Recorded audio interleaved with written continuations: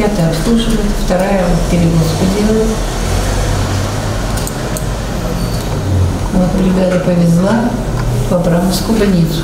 В этом мониторе Людмила Лаптева следит за работой каждой машины скорой помощи. Связала свою жизнь со спасением людей аж 50 лет назад. Важный человек, который связывает больного и скорую помощь, признается, до сегодняшнего дня работать было сложнее. Ну вот связь, допустим, это была проблема номер один у нас. Потому что или номер телефона спутают, могут спутать адрес и проверить негде. Вот это, конечно, большой этот, сам- навигация. Я вижу, где у меня какая бригада находится.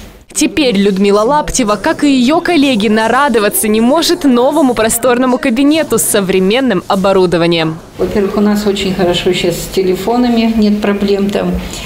Вызов есть, и номер телефона выходит. Если тебе нужно, подождите, проверить, я могу бригаду вот любую назвать, вот, пятую, допустим, надо им номер, не, не открыли им двери, я позвонила.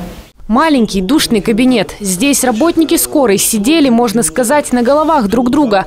Так тут было еще недавно. И, конечно, работать в таких условиях было невозможно. Как говорит глава скорой Михаил Николов, диспетчеры скорой помощи – это ее сердце, ее мотор. И теперь у этого сердечка есть все условия для эффективной работы. В прошлом году было принято решение обновить диспетчерскую скорой помощи. Ведь наша скорая помощь с 2015 года обслуживает не только Березники, но и Усолье, Александровск, Гремячинск и Кизел. Сейчас, э, благодаря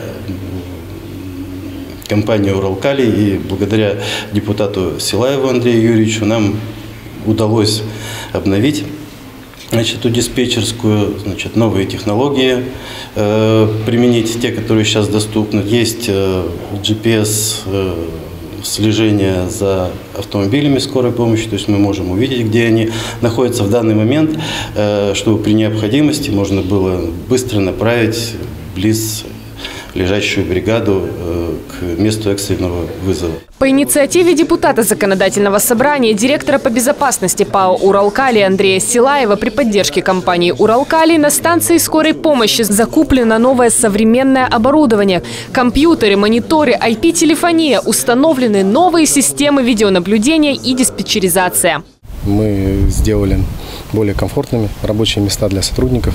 Надеюсь, что это им э, очень понравится и повысит их, как бы, создаст комфортные условия, тем самым повысит э, значит, их производительность.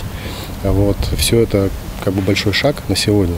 Я считаю, что то, что сделано здесь сегодня руководством скорой помощи и нами, это большое дело.